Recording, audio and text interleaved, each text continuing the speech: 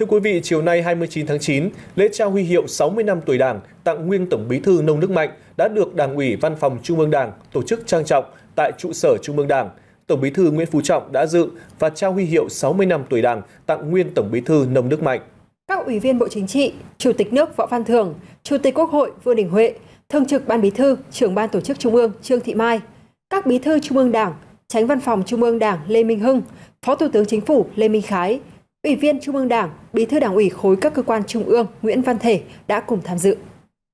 Thay mặt lãnh đạo Đảng, Nhà nước, Tổng Bí thư Nguyễn Phú Trọng chúc mừng đồng chí Nông Đức Mạnh, nguyên Tổng Bí thư, nguyên Chủ tịch Quốc hội, đảng viên sinh hoạt tại Đảng bộ Văn phòng Trung ương Đảng. Nhân dịp đồng chí được nhận huy hiệu 60 năm tuổi Đảng, phần thưởng cao quý rất có ý nghĩa của Đảng ta. Tổng Bí thư nêu rõ, đồng chí Nông Đức Mạnh là cán bộ người dân tộc, sinh ra và trưởng thành từ một vùng quê miền núi phía Bắc giàu truyền thống yêu nước, mạng, đã từng kinh qua nhiều cương vị công tác từ cơ sở đến Bí thư tỉnh ủy, Chủ tịch Quốc hội khóa 9, khóa 10 và Tổng Bí thư Ban chấp hành Trung ương Đảng khóa 9, nhiệm kỳ 2001-2006, khóa 10 nhiệm kỳ 2006-2011. Dù ở cương vị công tác nào, đồng chí luôn luôn tuyệt đối trung thành với Đảng, với Tổ quốc và nhân dân, kiên định mục tiêu lý tưởng của Đảng, không ngừng học tập, tu dưỡng, rèn luyện, phấn đấu hoàn thành tốt mọi nhiệm vụ được giao. Trên cương vị là Chủ tịch Quốc hội, đồng chí đã có nhiều đóng góp trong việc nâng cao chất lượng hoạt động của Quốc hội xây dựng nhà nước pháp quyền xã hội chủ nghĩa Việt Nam của nhân dân do nhân dân vì nhân dân. Trên cương vị là Tổng Bí thư Ban chấp hành Trung ương Đảng với kinh nghiệm thực tiễn phong phú,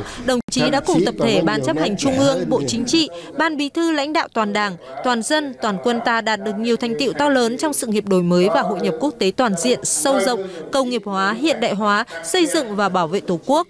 Ghi nhận những thành tích và công lao đóng góp công hiến đối với sự nghiệp cách mạng của Đảng, Đảng ủy khối các cơ quan trung ương đã quyết định trao huy hiệu 60 năm tuổi Đảng tặng đồng chí Nông Đức Mạnh. Phát biểu tại buổi lễ, nguyên Tổng Bí thư Nông Đức Mạnh bày tỏ lòng biết ơn sâu sắc đối với Bác Hồ kính yêu, với Đảng, Nhà nước và nhân dân. Cảm ơn các đồng chí lãnh đạo, nguyên lãnh đạo Đảng, Nhà nước, cấp ủy Đảng và chính quyền các địa phương, các ban, ngành, đoàn thể trung ương, các đồng chí đồng nghiệp nơi từng học tập, công tác đã giúp đỡ đồng chí rèn luyện, phấn đấu, hoàn thành nhiệm vụ Đảng, Nhà nước và nhân dân giao phó. Nguyên Tổng Bí thư Nông Đức Mạnh nhấn mạnh, với trách nhiệm đảng viên, đồng chí nguyện tuyệt đối trung thành với lý tưởng và đường lối của Đảng, gương mẫu học tập, làm theo tư tưởng đạo đức phong cách Hồ Chí Minh, xứng đáng là đảng viên của Đảng Cộng sản Việt Nam.